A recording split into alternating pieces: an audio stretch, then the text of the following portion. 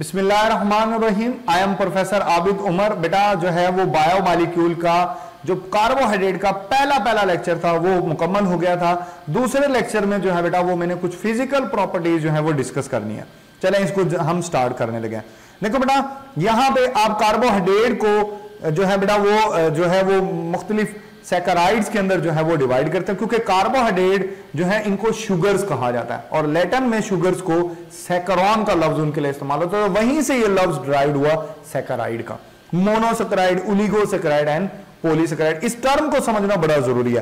देखिए, मैं आपको बताता हूँ। देखो बेटा, सबसे पहले तो जो है, वो अब आप देखें। यहाँ पर मोनोसेक्राइड लिखा हुआ मोनोसेक्राइड के अंदर टू टू सेवन कार्बन होता है। मैं दोबारा बताऊँ, कार्बन होते हैं। ये लिख भी रहा हूँ। ठीक हो गया? और जो ओलिगो होते हैं, उसमें जो है बेटा थ्री टू नाइन मोनोसक्राइड होते हैं। कार्बन की बात नहीं कर रहा मैं मोनोसक्राइड होते हैं। मतलब ये लिटरेचर की बात बोल रहा हूँ। आप रेफरेंस किताबें पढ़े, वहाँ से मैंने ये जो है वो वैल्यू आपके लिए, क्योंकि बच्चे कहते हैं शायद दसवां भी इसमें शामिल है। दसवां, इसमें शामिल नहीं होता। थ्री टू नाइन होता किसी एक आध बुक को छोड़ के ना, ज़्यादातर में यही बात लिखी है कि टोटल जो है वो लिगोसक्राइड के अंदर तीन से लेके नौ तक मोनोसक्राइड होते हैं। कार्बन नहीं होते। और पोलीसक्राइड में दस या दस से ज़्यादा होंगे। दस या दस से ज़्यादा मोनोसक्राइड अगर आपस में जुड़े हुए हो तो वो पोलीसक्राइड की टर्म में कैटेगरी में जो है वो फॉल करते हैं। डाइसक्राइड के अंदर, डाइसक्राइड के अंदर जो है बेटा, वो दो मोनोसक्राइड होंगे। टू मोनोसक्राइड तो वो डाइसक्राइड है। तीन से लेके नौ तक वो उलीगो है। दस या दस से ज़्यादा पर वो पोलीसक्राइड की कैटेगरी में जो है बेटा, वो फॉल करेगा। चले, उसके बाद आगे चलते हैं। नेक्स्ट देखो बेटा ये जो है, वो जो मोनोसक्राइड होते हैं, क्योंकि ये स्मॉल होते हैं, इनका जो मालिकुलर वेट होता है, वो कम होता है, ये टेस्ट के अंदर स्वीट होते हैं। जबकि जैसे जैसे कार्बन की क्वांटिटी बढ़ती जाती है, इनकी जो स्वीटनेस है, वो कम होती जाएगी। ये लेस स्वीट हो जाएगा, और ये फाइनली जो है, ये टेस्टलेस हो जाएगा।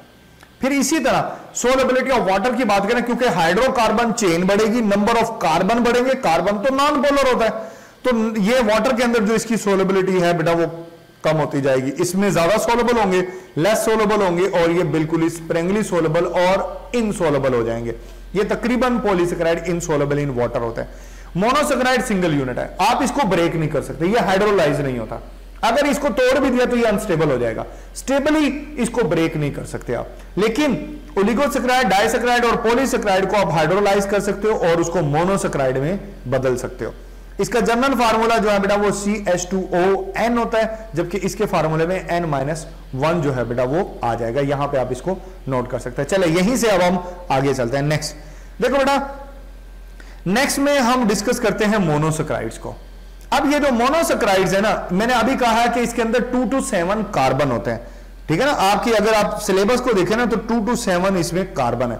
अब तीन कार्बन वाले को ट्राइोस बोलते हैं। अब वही बात आ गई, जनाब, इसका यहाँ मालिकुलर फार्मूला लिखा हुआ ये हम कैसे याद करें? बेटा, मैंने कहा था कि आपने याद रखना है। मेरी, जो मैंने रेशियो बताई थी आपको, वो ये वाली वन टू वन देखो, अगर इसमें तीन कार्बन है तो बेटा, तीन ही ऑक्सीजन होंगे और डबल हो गई हाइड्रोजन ठीक हो गया?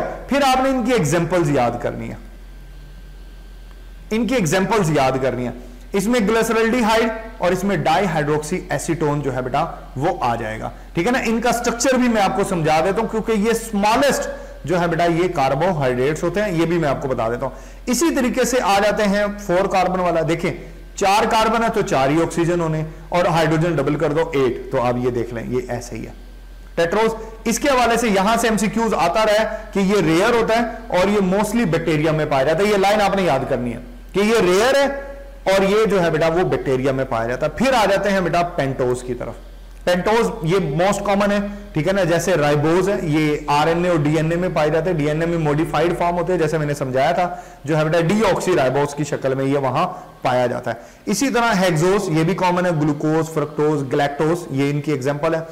इसी तरह हेक्टोज की बात कर लेते हैं। ये जो है बेटा, ये ज़्यादातर नहीं पाई जाती, ये भी रेयर होते हैं बट इसका, इसकी आपकी बुक में मेंशन नहीं है। चले, यहाँ से अब हम आगे चलते हैं। नेक्स्ट फ़िज़िकल प्रॉपर्टीज़ जो हमने डिस्कस करनी है, वो करनी है हमने जो है पोलीसक्राइड्स की।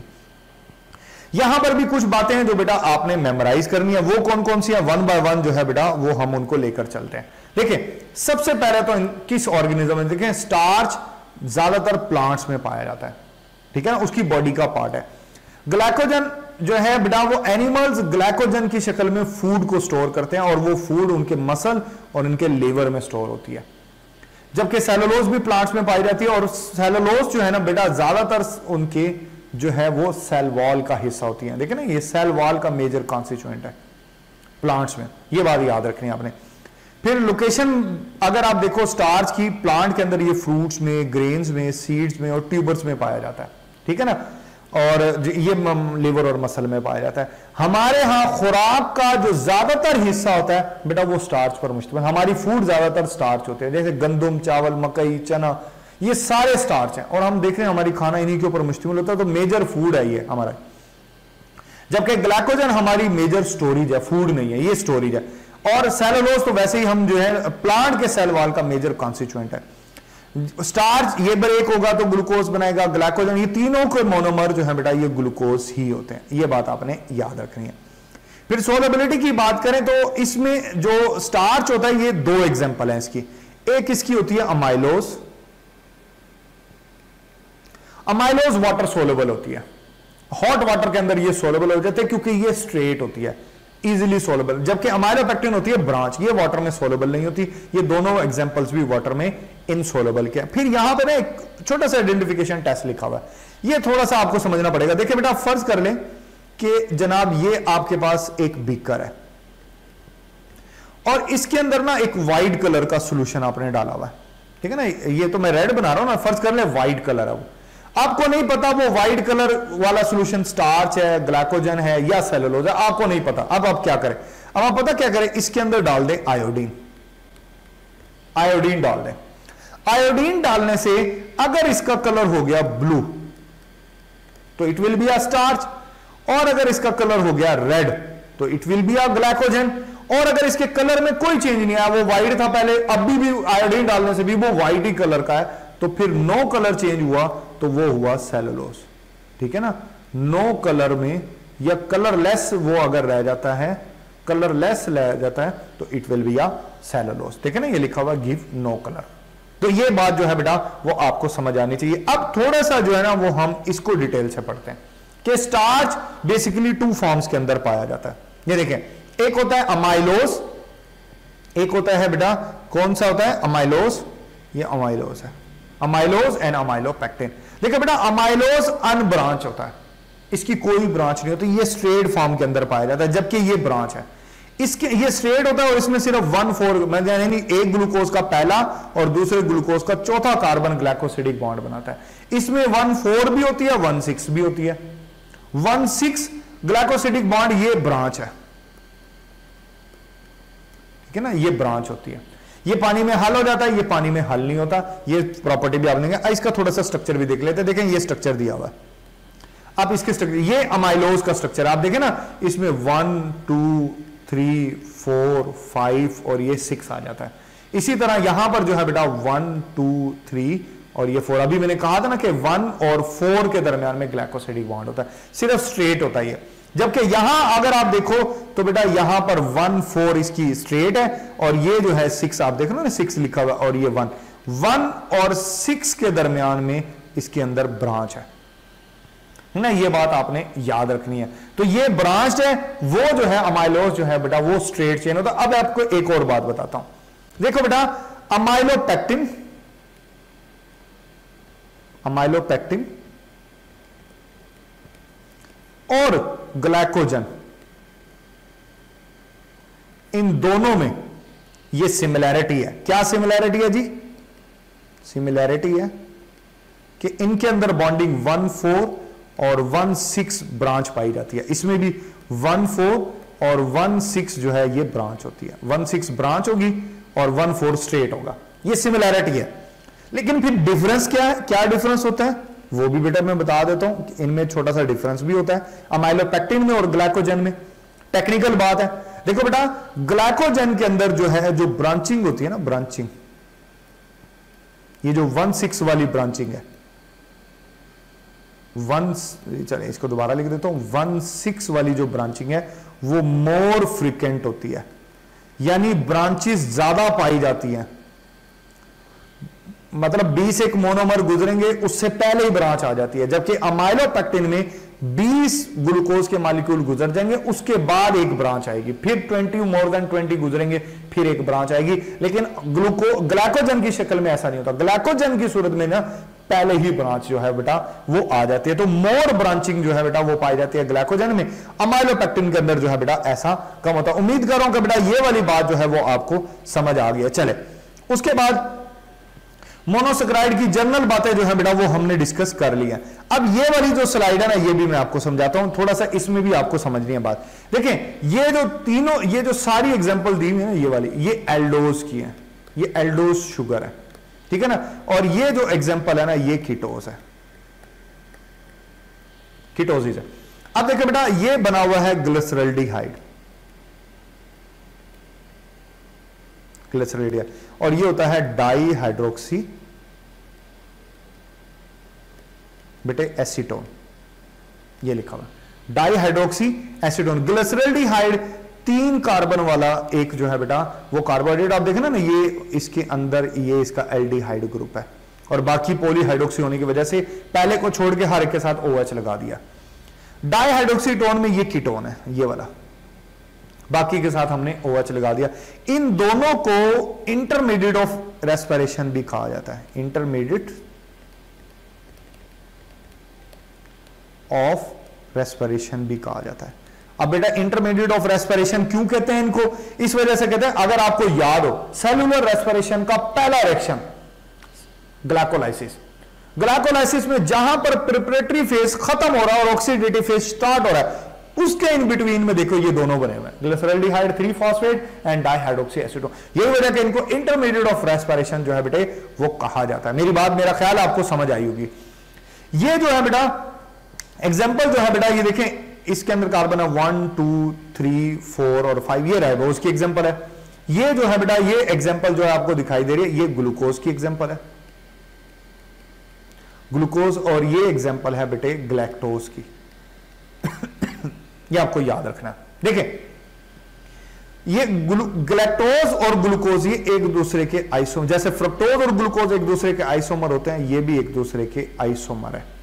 फ़र्क क्या है जनाब? ग्लैक्टोज में जो कार्बन नंबर चार होता है, तीन के साथ साथ तीन में तो है ही लेफ़्ट पर, चार पे भी लेफ़्ट पर है, जबकि ग्लूकोज में ओएच राइट पर होता है, चौथे कार्बन पे। बस इसमें चौथा कार्बन वो भी लेफ़्ट पर है, बस इतना सा फ़र्क है।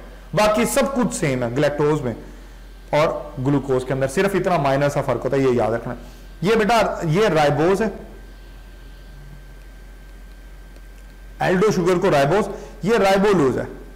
राइबोलूज जो है बेटा, थोड़ा सा नाम चेंज होता है, ये कीटो शुगर है। देखे ना, ये कीटो ग्रुप इसके अंदर है। और ये स्ट्रक्चर बेटा बना हुआ है फ्रक्टोज का। ये ओपन चेन स्ट्रक्चर है फ्रक्टोज के। ये बेटा आपने याद रखना ग्लूकोज और फ्रक्टोज ये भी एक दूसरे के आइसोमर होते हैं। क्योंकि इनका मालिकुलर फार्मूला जो है बेटा सेम है बट एल्डो और कीटो का फ़र्क है। बाकी बाकी सारी चीज़ें सेम है। चले, आगे और बातें डिस्कस करते हैं। ये मैंने जो आपको करवा दिया था बेटा, देखिए, इसमें एक दो बातें आपने याद रखनी है। वो मैं आपको समझा देता हूँ। देखें इसके अंदर आपने क्या क्या बात याद रखनी है बेटा? इसके अंदर आपने याद रखना है जो है बेटा, कि जनाब, जब ग्लूकोज प्लस ग्लूकोज मिलेगा। ठीक हो गया? तो बेटा बनेगा, क्या बनेगा? ग्लूकोज ग्लूकोज मिलेगा तो बनेगा माल्टोज। ठीक हो गया? इसी तरह जब ग्लूकोज मिलेगा ग्लैक्टोज से। ठीक हो गया? तो बेटे बनेगा, क्या बनेगा? लैक्टोज। ठीक हो गया? चले, मैं एक नीचे लिख देता हूँ। जब मिलेगा ग्लूकोज, मिलेगा फ्रक्टोज से तो बेटे बनेगा जो है, वो क्या बनेगा? सक्रोज बनेगा। ये माल्टोज पाया जाता है फ्रूट्स में फ्रूट्स में लैक्टोज पाया जाता है मिल्क में, ये डाइसक्राइड्स है। और सक्रोज जो है बेटा, ये शुगर केन जो होती है ना, जो चीनी जो बनाई जाती है शुगर केन उसमें जो है बेटा, ये सक्रोज जो है वो बनता है। ठीक है ना? ये बातें जो है वो आपने थोड़ी सी इस स्लाइड में मैंने ये बातें बतानी थी आपको, ये आपको याद रहनी चाहिए, ठीक है ना? ये भी एमसीक्यूज के हवाले से जो है वो खासी इंपॉर्टेंट है। फिर एक बात मैंने और बतानी है, फिर मैं आगे चलता हूँ। ठीक है ना? उसमें वो मैं बता दूँ, फिर मैं आगे चलता हूँ। देखो, ये आखिरी स्लाइड मैंने डिस्कस करनी है। जो है बेटा, देखिए, ये डायग्राम आपको क्या बताना चाह रही है? ये आपको कुछ सेलोलोज के बारे में मालूम देना चाह रही है। जो सेलोलोज होता है ना सेलोलोज बेटा, हम उसको डाइजेस्ट नहीं कर सकते। क्यों नहीं डाइजेस्ट कर सकते? क्योंकि उसको डाइजेस्ट करने के लिए सेलोलोज को डाइजेस्ट करने के लिए एक एंजाइम चाहिए होता है, उसको कहते हैं सेलोलेज वो हमारे पास नहीं होता। सेलोलेज नहीं होता हमारे पास। ठीक हो गया? सेलोलेज जो है बेटा, ये हमारे पास नहीं है। अब ये जो हर्बी होते हैं ना, देखें, ये दिखाई दे रहे हैं हर्बी जो घास खाते हैं। इनकी ना इंटेस्टाइन में, किसमें? इंटेस्टाइन में कुछ बैक्टीरिया रहते हैं। बैक्टीरिया। ये बैक्टीरिया। वो बैक्टीरिया सेलोलेस एंजाइम प्रोड्यूस कर देते हैं, जिसकी वजह से वो सेलोलोज को डाइजेस्ट कर सकते हैं। घास वो खाते हैं सेलोलोज ब्रेक हो जाता है ग्लूकोज में और उनके ब्लड में चला जाता है। हम भी खाते हैं। घास तो नहीं खाते, लेकिन हम सब्ज़ियाँ खाते हैं। हम ग्रीन वेजिटेबल्स खाते हैं। उनके अंदर सेलोलोज मौजूद होता है। तो फिर उसके साथ क्या होता है? बेटा, वो सेलोलोज देखे, उस सब्ज़ी के बाकी कंपोनेंट ब्रेक हो जाते हैं। ब्रेक होके ब्लड में चले जाते हैं। लेकिन ये जो जो रह जाता है सेलोलोज ये बगैर ब्रेक हुए ऐसे ही अनडाइजेस्टेड फॉर्म में हमारे फिकल कंटेंट से बॉडी से बाहर चला जाता है। ठीक हो गया ना? एक बच्चा मुझे सवाल पूछता है एमडी कैड का स्टूडेंट था, वो मुझसे सवाल पूछ रहा था, सर अगर सेलोलोज का उस बंदे को इंजेक्शन लगा दे डायरेक्ट ब्लड में डाल दे। मैंने कहा, बहुत अच्छे बेटा, बहुत अच्छे, बहुत अच्छी बात कही। सेलोलोज का अगर डायरेक्ट इंजेक्शन उसको लगा दोगे तो वो मर जाएगा। पोलिसक्राइड की फॉर्म में ये जो जो होते हैं, ये ब्लड में नहीं जाते। हमारा जीआईटी सिस्टम इन पोलिसक्राइड्स को ब्रेक करके मोनोसक्राइड में बदलता है, फिर ये ब्लड में जाते हैं। अगर आप इसको पोलिसक्राइड की फॉर्म में ब्लड में डाल देंगे तो वो बंदा उसी वक्त उसकी डेथ हो जाएगी। ऐसा नहीं करना। ठीक है ना? ये वाली हमाकत नहीं करनी। पहले डॉक्टर बन जाओ, फिर ये बातें भी आपको जो है पता लग जाएँगी कि क्या नहीं करना। चले, यहाँ पर बेटा हमारा टॉपिक हो गया मुकम्मल, जो है, अब कार्बोहाइड्रेट में मैंने एक और टॉपिक आपको समझाना है, वो है difference between reducing and non reducing sugars वो कंसेप्ट भी बहुत इंपॉर्टेंट है, लेकिन वो मैं आपको अब नेक्स्ट लेक्चर में समझाऊँगा। चले, यहाँ पर हमारा ये जो है बेटा, आज का लेक्चर मुकम्मल हुआ। आपके जहन में कोई सवाल है तो आप ज़रूर वो पूछिएगा, मैं उसका जवाब दूँगा। थैंक यू अल्लाह हाफिज. अपना ख्याल रखिएगा।